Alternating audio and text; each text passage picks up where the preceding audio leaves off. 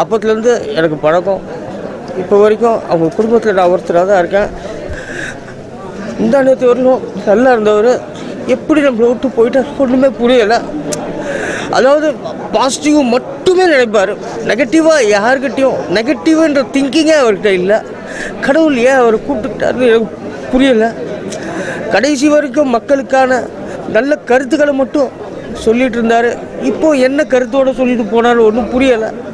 அவர் இறக்கிறதுக்கு முதல் நாள் கூட இந்த கோவிட் வேக்சின் எடுக்கணும் அப்படின்றத ஒரு ஒரு விழிப்புணர்வாக சொல்லிட்டு போயிருக்காருன்னா அவர் வந்து அந்த அளவுக்கு மக்கள் மனசில் வந்து சிரிக்க மட்டும் வைக்கல சிந்திக்கவும் வச்சுருக்காரு.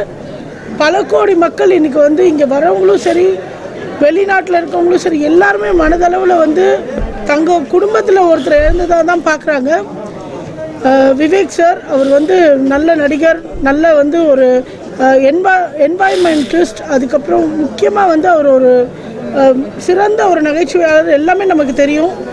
ஆனால் அவர் வந்து முப்பத்தஞ்சு லட்சம் மரங்களுக்கு மேலே அவர் நட்டிருக்காருன்றது இந்த இந்த இயற்கை மேலே அவருக்கு எவ்வளோ ஈடுபாடு மக்கள் மேலே எவ்வளோ ஈடுபாடு இருக்குன்றதை காட்டுது. அவர் மேலே உண்மையாக அன்பு இருக்கவங்க நிச்சயமாக இன்றைக்கி ஒரு மரத்தை அவர் பேரை சொல்லி நடணும். ஏன்னா அவர் ஒரு கோடி மரங்களை நடணுன்றது தான் அவரோட ஆசையாக லட்சியமாக இருந்தது. அதை கண்டிப்பாக செய்யணும் அப்படின்னு நான் நம்புகிறேன் ஏன்னா அது பண்ண முடியலேன்னு தான் அவர் வருத்தப்படுவார் அப்படின்னு நினைக்கிறேன். நேற்று வரைக்கும் காலையில் சுடுத்தறி வேணும் அப்படின்னு சொல்லி ஒய்ஃப்கிட்ட சொல்லி வாங்கி அக்கா கிட்டேருந்து குடிச்சிருக்காரு. திடீர்னு மயக்கம் போட்டு விழுந்திருக்காரு. திடீர்னு இந்த மாதிரி ஆயிருக்குன்னு அவங்களால குடும்ப அளவு குடும்பத்தில் ரொம்ப வந்து அவங்க மனதளவில் ரொம்ப உடஞ்சி போயிருக்காங்க.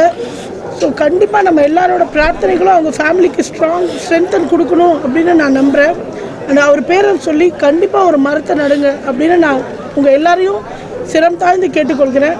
இந்த மரங்கள் இருக்க வரைக்கும் இந்த காற்று வீசுகிற வரைக்கும் கண்டிப்பாக விவேக் சார் நம்ம எல்லார் மனசுலையும் இல்லை இனி வர காலங்கள்லையும் அவரோட புகழ் என்றைக்கும் நீடித்து நிலைக்கும் அப்படின்னு நம்புகிறேன் அவருக்கு என்னோட இதய அஞ்சலிகள் நன்றி. அவர் ஆத்மா சாந்தி